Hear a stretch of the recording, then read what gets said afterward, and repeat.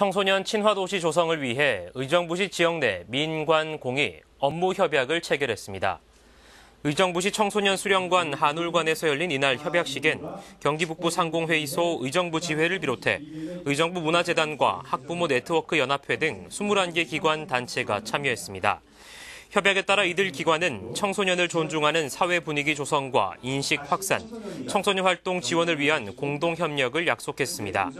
이날 행사는 청소년 행복 주간 조례 취지 설명과 업무 협약 서명, 공동 협력 방안 논의 순으로 진행됐습니다. 한편 의정부시는 지난 4월 전국 자치단체 가운데 최초로 청소년 행복 주간 조례를 제정했습니다.